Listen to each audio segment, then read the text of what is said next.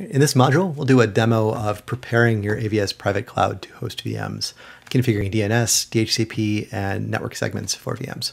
We'll start here in the Azure portal, uh, open to our private cloud object. We'll start looking at DNS configuration.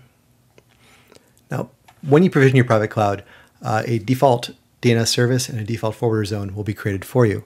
Um, this will allow AVS resources to resolve public names, but you likely have on-premises resources that you're going to need to resolve, and those are likely on private IP space, so we need to configure a private forwarder. So we'll do that by, from the DNS tab, with DNS zone selected, click Add, and we'll create an FQDN zone, a fully qualified domain name zone. We'll give the zone a name, give it a name of stickers. We're going to map to our internal domain stickers.corp. The domain itself is stickers.corp. And the DNS servers are these. Cool. Okay, so now we have a zone configured for our on-prem domain with DNS servers configured for it. Uh, now we add this zone to our server. So again, here is our default DNS service that was created. We're going to click Edit. Uh, the name is fine. Um, default DNS zone is fine. That we'll use the default one. And under FQDN zones, we're going to pick from the dropdown and we're going to check our the stickers one that we just created. And we'll hit OK. There we go. Now anything, any VMs that are using that DNS forwarder service uh, for DNS will be able to conditionally resolve stickers.corp resources using the DNS server, servers we provided.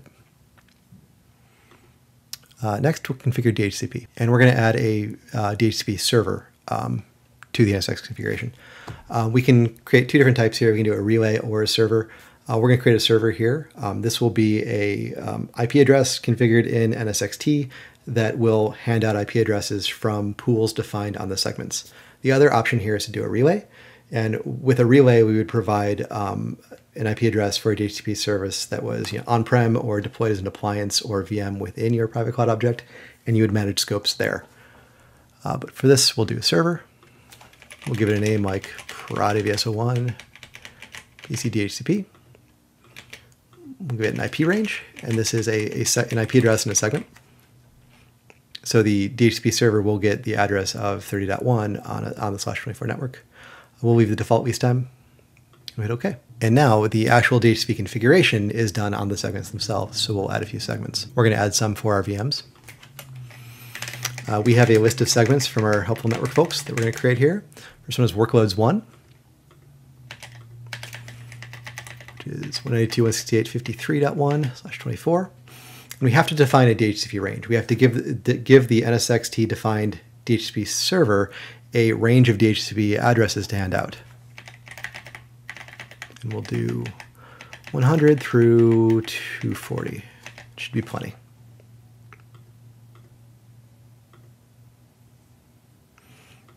I'm going two follow that same process to add a workloads to and a management.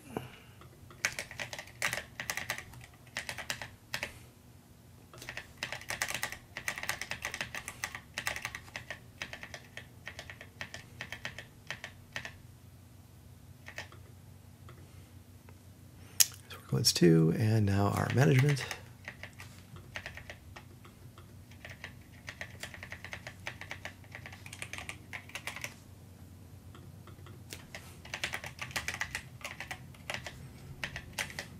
So we've got a slightly smaller pool, 100 to 125.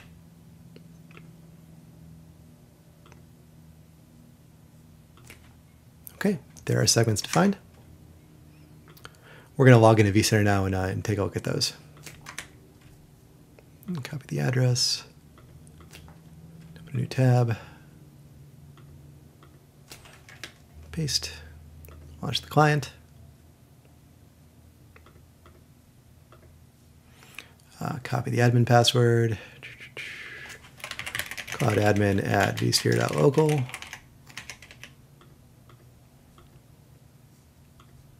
In the password.